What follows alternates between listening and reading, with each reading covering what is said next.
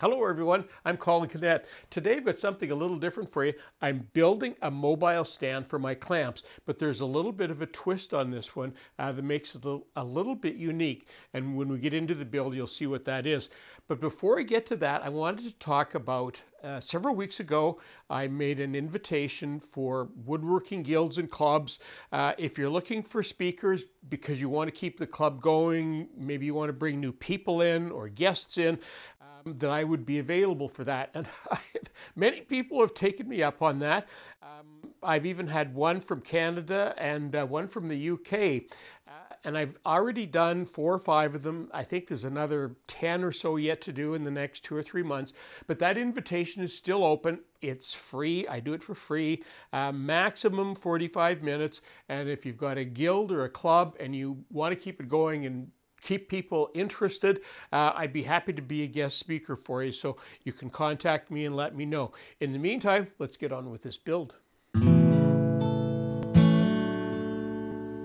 Now there's my some of my old original uh, round bar clamps uh, and they work really well. I'm going to hang on to some of those uh, but I've got some of these new Bessey clamps. You can see there's three different kinds there for different things and I'm really starting to like these. The problem is they don't really fit on this original rack that I made a long time ago. So I only have four of these original K-body version, uh, but they I'm, they're really heavy, and I'm finding they take up a lot of room. Uh, when I stack them up like that, you know, those are over nine inches uh, that nine inches that they take. But when I was designing this thing and looking at what I could do, I decided to try this. Look at this. What look at what happens here. If you flip these around, sort of end for end,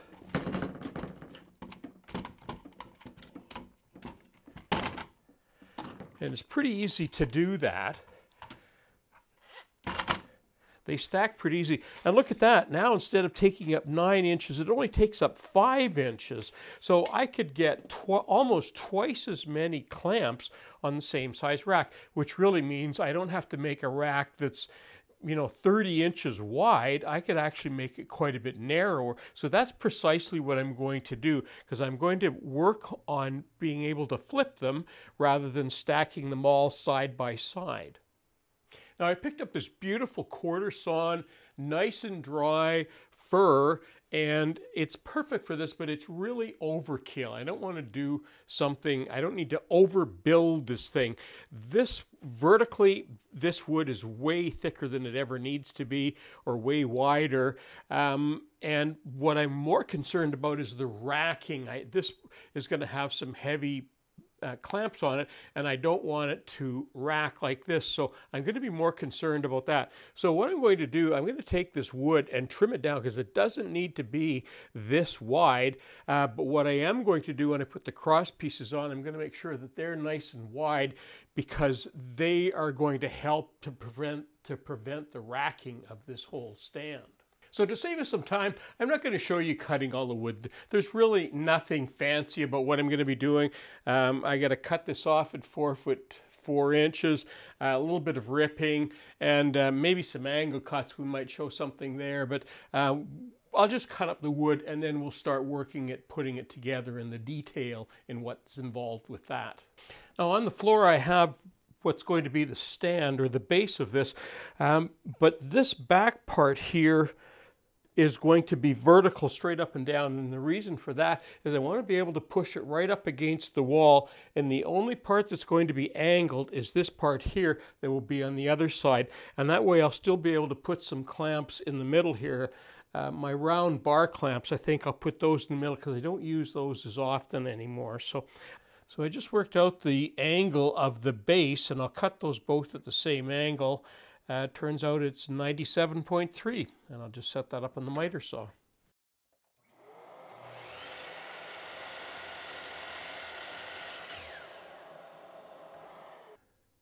Now I need to cut the tops off the two angle pieces, and they're going to be at the same angle, so I don't even have to adjust anything.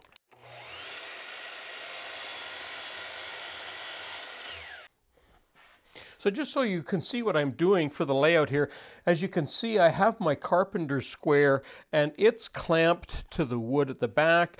This wood is clamped to the square at the bottom and this, the square is actually lifted off the deck a little bit. Uh, I have a couple of thin pieces of plywood under there. What I'm wanting to do is I'm wanting to make these cross pieces and rather than do all sorts of measuring and angles, I'm just going to lay it out the way it's going to sit because this is going to come up like this and sit vertically. So I'm just going to be able to mark that like that. And I've got one at the other side. Just double check it. And I can mark that one as well. And now I can cut those inserts and I'll make two of them, one for each side. Well, I have all the components for the sides and I, I just need to assemble them now. And I've decided what I'm going to do. I could use pocket holes in this, but I want something a little bit stronger. So I'm going to be using my doweling jig for that. And what I really like about the doweling jig is I don't even have to compensate for a little bit of an angle. I can just put my doweling jig right on there and it will just drill a hole straight in and that will go straight into the sides. I don't even have to worry about compensating for that. So I'm going to go ahead and drill all of those holes and when we come back we should be able to start doing some assembly on this. Okay. I'm just doing a dry, finishing a dry fit here. And if you're new to my channel, you're probably asking, how come you're using those red dowels, Colin? And that's because they're a tiny bit, I made them a little bit smaller because if I use the regular dowels on there, it's too tight to take apart. It's such a tight fit. So I use dowels that are a little bit loose. I've sanded them down a little bit. I've got two different sizes, blues and reds. Um, but look at that. There it is. Everything all fits perfectly together. Uh, now all I need to do is take it all apart and I'll start gluing that all together. I'm not going to make you sit through all that gluing. Basically, it's just taking it apart, taking out all the red dowels and uh, replacing them with the natural wood dowels and gluing it all up. So just to show you one set that I'm going to do, here's one of the curved pieces, and I'm not doing anything special. I just put the jig on there like that, and it will drill holes straight in, and they will match the other side.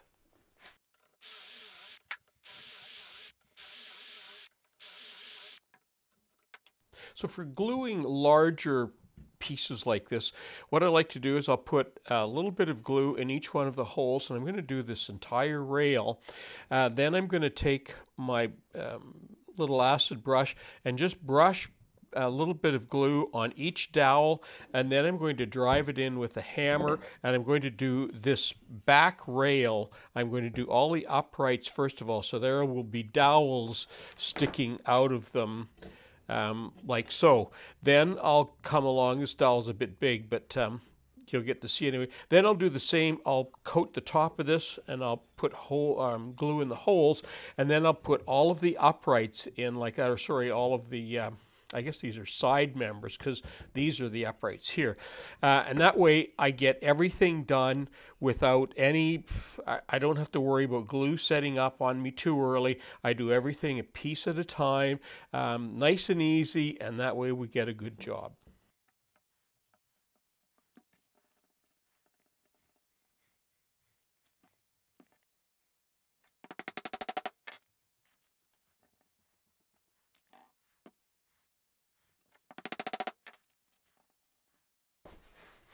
Okay, this is the second gable end. Now I'm just finishing up that. And I've put glue in the holes and on the dowels. And everything's lining up.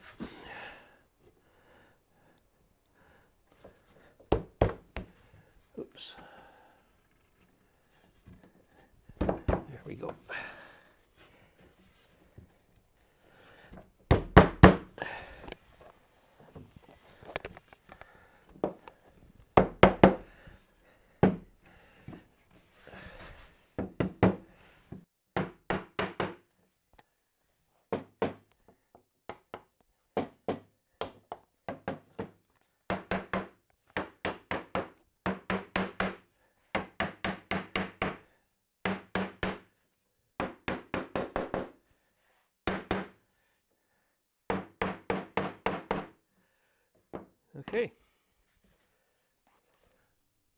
Well, that took about 20 minutes to figure out where these cross members need to go. And you can see I've only got them clamped on right now, uh, but I'm just loving the way this is coming together because the lower ones I'll be putting on upside down. And I don't know if you can tell, but inside here, this is going to sit on the inside towards the inside of this gable end. And that way, when this goes in, it won't slip down. It will it should butt up against that wood down here so that it will stay on there. So the lower ones can be upside down, the upper ones can be right side up, and I'll be able to get more in less area, which is brilliant.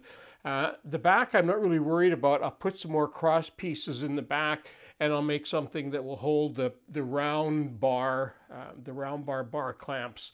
And, uh, and then of course I'll mount the whole thing on this um, platform. I have that already done. I don't know if you can see that from there, but that's the, the wheeled base for it. So not very far before we get this finished, so I'll carry on. Now I'm going to do the same thing, um, putting dowels in here because there's going to be a lot of weight on there, so I need to make sure I have a good sturdy cross members. Well, I am making some headway. I have drilled all the holes for all of the cross members. And now I just need to go and put some dowels in each one of them. And uh, then I'll put the cross members in. So I want to take a minute and just sort of catch you up where I'm at right now. And you can see that I've put dowels in all of the insides of both the gable ends and I'm ready to start putting the uprights up and I've got the top of each one marked. I always mark a face side somewhere so they'll all fit on the same way, the way that I've drilled the holes for them. The only thing, so I'll put all the uprights on the back here and then I'll bring the top up and over on top and that's those dowels will fit into the, the tops of these uh, cross members. Now the only thing that I've done a little bit off camera, a couple things, I've drilled some pocket holes in all of the bases so that when I can fasten it to the um, mobile base, I'll have something to do that with, so I've done that. The other thing that I've done is I've made, because I've got these round bar clamps that I'm still holding on to a few of them because I like them for certain uh, glue ups. Um, and I, I don't have a place to store them on here nicely, so they're going to sit in the back. And one of these uprights, I just put my tape here. I always mark things on here so that I remind myself of what I've done uh, so that when I come back I know exactly what's going to happen. So this upright is going to go in that position like that and you can see I've got some dowels in there. Then I went ahead and made some uh, inserts to go into that and when this is all assembled that will go on there like that and those um, these round clamps will then just sit nicely in there so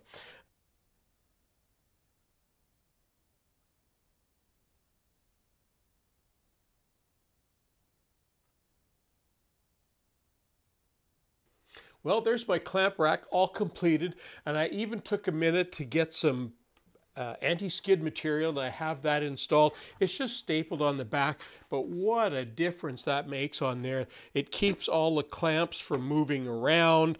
Uh, it just really works well on this. I'm really happy the way it worked, and especially in the lower side. Have a look at that. So down in this lower part where the clamps are going to be upside down, uh, this anti-skid material keeps these from moving around. I can move the cart around. These don't move around. And what that means is I don't need to put little cleats in here to stop these from moving around. And it just saves me more space on here. So I'm really happy the way this has turned out. And this anti-skid material has been a, it's just a, such a handy thing in the workshop.